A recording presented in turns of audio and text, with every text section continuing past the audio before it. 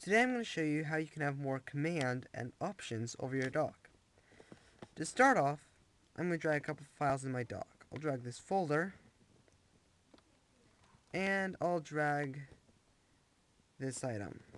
I'll close that, and if I want to put this item right here inside my dock, onto my desktop, or any other folder, I would normally have to open up all this and drag it where I want, say pictures. And now it's inside my pictures folder and then drag it back, I'd could do that. Well, there's an easier way. If you hold down the command key and then click on an object inside your dock, it just becomes a normal object. And you can do folder snapping.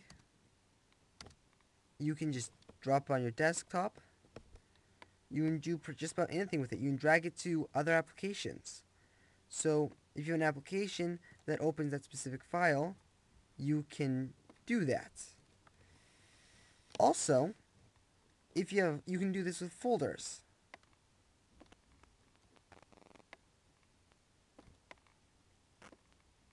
Drag it to desktop like that.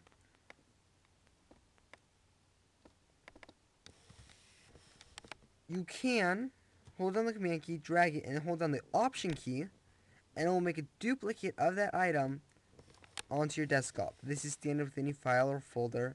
Just hold on the option key when dragging it and it'll make a copy. Now, if you hold on command key, drag it, hold on command key and drag it, and you hold press command option, it'll make an alias. And now alias is to here, and this file, show original, alias is there. So, I hope you enjoyed this tip and thanks for viewing.